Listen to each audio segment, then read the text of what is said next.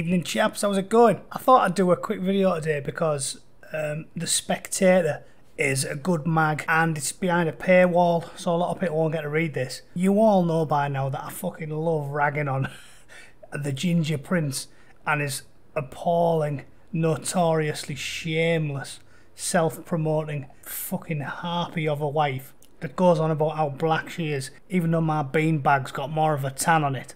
like, she, I seriously thought she was Italian or fucking something. I didn't think for a second she was mixed race, let alone black. And who cares, right? Who gives a fuck what she is? In this day and age, 99% of the people that they call racist don't give a fuck what you look like. They care what you think. I'm sure almost everyone watching disagrees with that, right? Who do you think someone like Donald Trump would get on with better? Ben Carson or Thomas Sowell or Candace Owens?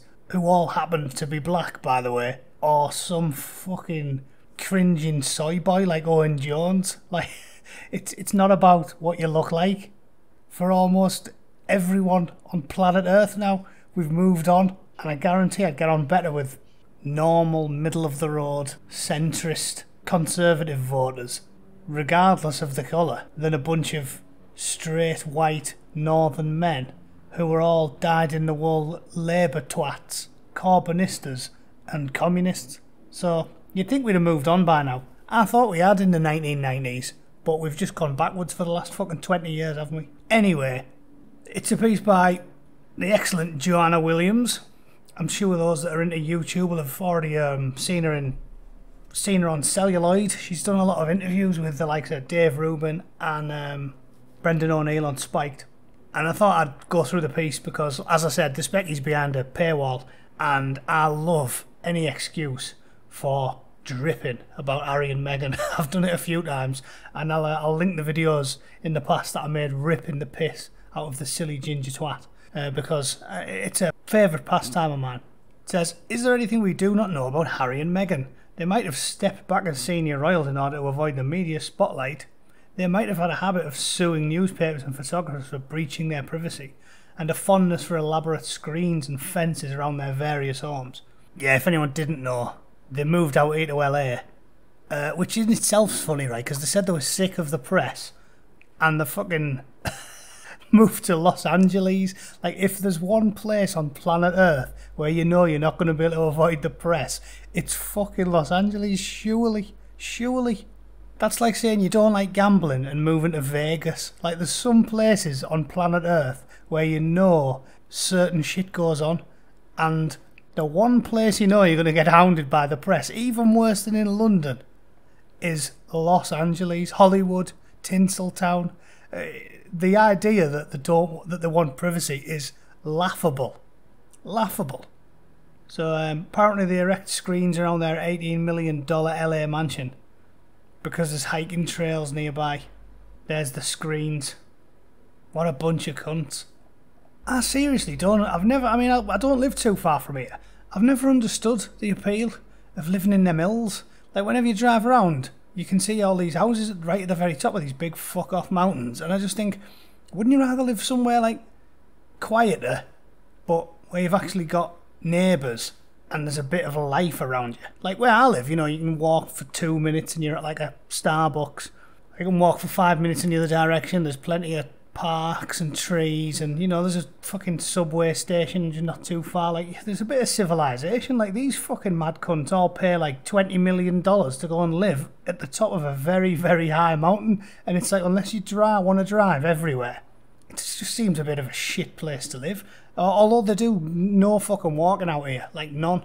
They have drive-through banks, which always astounded me. It's like, listen, if you're going to be that much of a fat fuck that you're going to go to the bank, get a load of money, and then take the drive-through in McDonald's, you can at least walk to the fucking bank.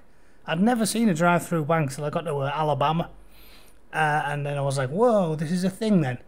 Like the fat knackers really do drive to the bank, get the cash out, lean out the window, and get the uh, money out, and then drive to the restaurant and buy a bucket full of chicken. Yeah, because plates, plates are for fucking losers.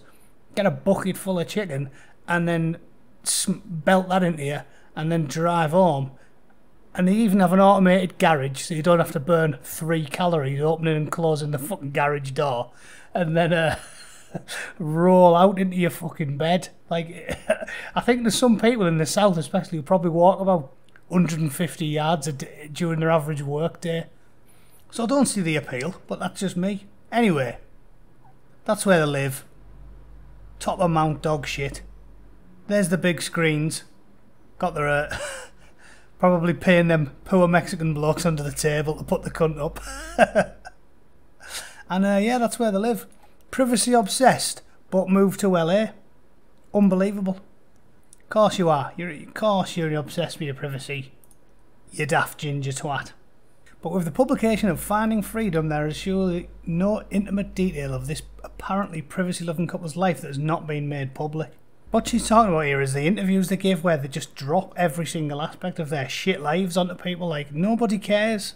Nobody cares said they know exactly what William told his brother when they said they were getting serious, and we know about the first date, and we know that Meghan performed a yoga pose. Such a cliche.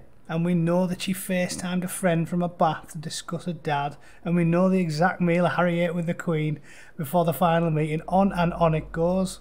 No detail is too personal or simply too trivial to be left unshared. Yeah, and they're obsessed with privacy. Do me a fucking favour. So, despite revealing details that presumably only people who were in the room when it happened could ever conceivably know, we are expected to believe that Carolyn Durand and Omid Scobie wrote Finding Freedom without input from the Sussexes. But Harry and Meghan's silence speaks volumes. There are no threats of lawsuits. We can only conclude the Duke and Duchess very much approve. Yep. And why shouldn't they? In finding freedom, our intrepid heroes bravely triumph over the snobby brother, the unfriendly sister in law, and the pompous palace officials. Pictures of radiant Meghan smiling coyly hand in hand with her defiant prince accompany every piece. My god, I'll tell you what, I'd rather read the back of the shampoo bottle when I'm having a shite. Like, is there, is there anything worse? I'd rather read Robert DiAngelo's latest piece of hateful, spiteful race baiting. That's how interested I am in reading Finding Freedom. Anyway, Joanna Williams hypothesises that the whole reason that everybody's interested in the Duchess difficult, uh, or MeAgain, I prefer that moniker for her, uh, is because the rest of the family is so quiet. And uh, she points out um, the Queen is not just a monarch and a head of state, but a 94 year old great grandmother that has opted for a radically different set of values than those she inherited at birth. Says Harry and Meghan share every detail of their lives with the entire world, and the Queen and Prince Philip offer only rare snapshots. Her Majesty embodies a lifelong commitment to service and duty. Harry and Meghan seem dedicated only to themselves.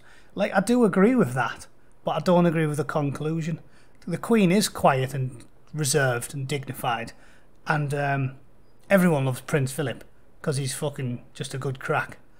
I wish I could still find the old Viz comic I used to have. I had a Viz comic once with a comic about Prince Philip in, where he's like visiting an orphanage and he just racially abuses all the disabled kids. It's funny as fuck, but I can't find it anywhere. I'm assuming they pulled it because they'd probably get crucified if that fucking thing turned up now. Anyway, he's a comedy genius, Prince Philip. But I don't agree that we actually care. I think that the fucking pensioners care and the sad bastards who live in London and are obsessed with celebrity, I think they care, but I don't think the average general public gives a flying fuck, do they? I certainly don't, and I'm not a staunch anti monarchist Republican. I'm ambivalent like everybody else is. It says from feminism to Black Lives Matter to environmentalism, we know exactly where their sympathies lie. This is Harry and Meghan.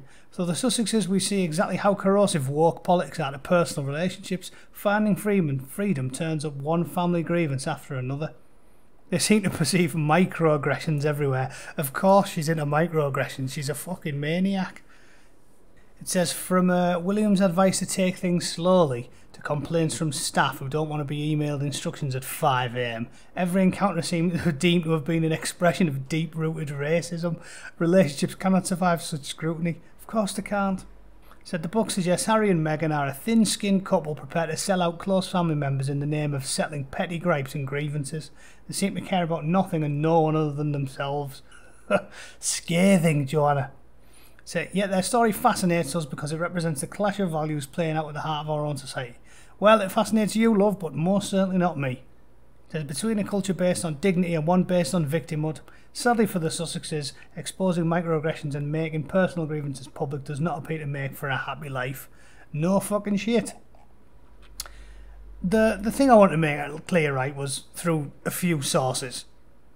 When these twats arranged to get married, right, there was no problem at all in the public sphere. None.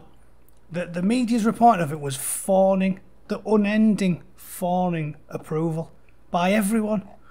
They made a big deal of the Queen consenting to the marriage and the nice letter she wrote. Um, the BBC was fucking loving it. Ye, know ye that we have consented to our matrimony between our most dearly beloved grandson, Prince Henry Charles, Albert David of Wales, and Rachel Meghan Markle. And then there was the Globe, the Globe trotting Meghan fans coming from all around the world for a real life fairy tale. Like it was unending. Everyone was loving it. Meghan and Harry invited the public to the wedding day and they turned out in fucking droves to meet them. Look, does that look like a public that hates a racist, patriarchal, misogynistic public? Or does that look like thousands, thousands upon thousands of fucking fawning, adoring, in my opinion, somewhat sad bastards. Uh, I'd rather, if I even if I think I love the fuckers, I'd rather watch it from the pub. I might put it on the telly in the boozer, but whatever. Point is, patriotic, pleased fans turning out to voice their approval in front of the world. I was absolutely delighted to be invited to this historic event, says 24 year old Josh from Cumbria in the northeast of England. Yep, look, he's loving it. Alexander Willis. He's fucking loving it. He's got his Union Jack suit on. 17 year old lad. It's marvellous. There's a load of birds. When Harry met Meghan, oh, how nice. They're loving it. Loving it. Students, old fuckers, women. Couldn't get enough. So don't tell me, don't tell me for a second that the general public is racist, bigoted, sexist, Americaphobic. I don't know what shit excuses Meghan Markle's come out with, but it's not true. It's demonstrably not true. Google fucking Harry wedding and you can see the right of it. No, this story's from today. Prince Harry and Meghan Markle seen as climate hypocrites by most Brits. And she's always gobbing off, oh, it's the empire, it's the racism. Look, two thirds of Britons think it is hypocritical for Prince Harry and Meghan Markle to advocate taking on climate change while flying by private jet. Exclusive polling for Newsweek reveals.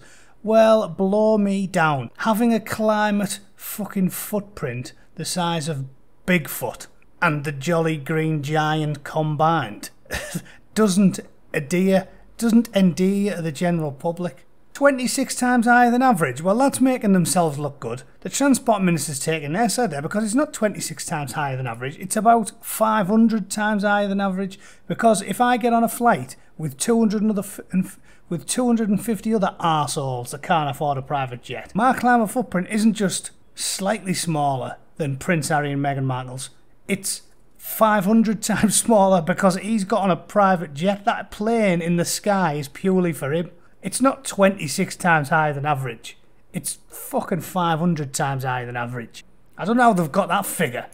He takes an average of 26 flights a year and the average person only has one. Yeah, but not coach. On a private jet that is only in the air for him.